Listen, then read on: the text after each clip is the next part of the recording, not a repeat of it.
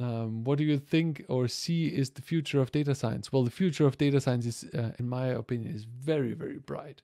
Very bright. You you need that everywhere. Um, as I said before, it, there, there is not one project, not one one uh, one company who could not benefit from from data science. Who everybody can benefit from data science in almost anyways and it's it's very simple to for a few hundred bucks you could spin up a simple thing and and eh, and give get insight into your data that you previously don't have.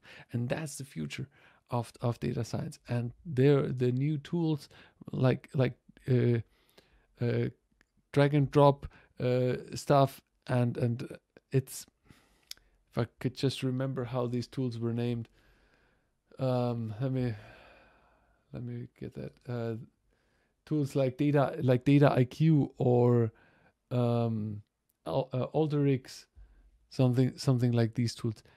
That's that's what's going to happen in the future. And that, that's where the, where all this is going